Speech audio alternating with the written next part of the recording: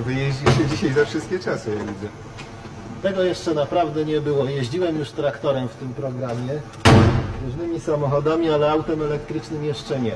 A y, przy, przyprowadziliśmy ten samochód dlatego, że y, te rozwiązania, które Ty proponujesz, Andrzej, to jest niestety ciągle to samo. Utopia i bujanie w obłokach. Natomiast gdzież, gdzież Ty widziałeś, żeby jakkolwiek zastosować taki samochód na? Przecież to było widać, że to jest zabawka po prostu. Natomiast samo, jeśli już szukać rzeczywiście jakichś y, nowych zupełnie y, rodzajów napędu, to niewątpliwie jest nim samochód elektryczny. Cokolwiek by nie mówić o wadach tego samochodu.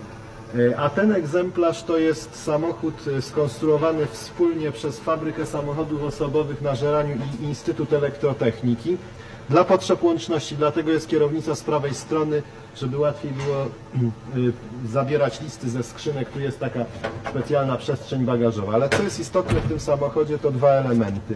Jeden to zestaw baterii, akumulatorów, wyglądający dość potężnie, no bo takie są jeszcze dzisiaj niestety akumulatory i ważący mniej więcej 670 kg. A pod maską zamiast silnika układ tyrystorowy sterowania, mm, który jest o tyle y, sprytny, że pozwala na minimalizowanie zużycia energii przy rozruchu samochodu i odzyskiwanie pewnych porcji energii podczas hamowania. To jest napędzane jednym silnikiem. Oczywiście jednym silnikiem umieszczonym y, bezpośrednio na wale napędowym z pominięciem skrzyni biegów.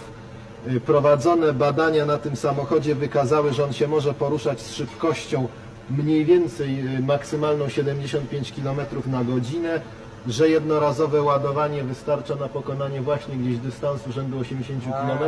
no. Zależy od sposobu jazdy, no i w mieście oczywiście nieco mniej. No i to właściwie są podstawowe y, Tak, walory konstruktorzy nawet to nazywają samochodem elektrycznym drugiej generacji, no właśnie Tak. ze względu na to eleganckie sterowanie, prawda?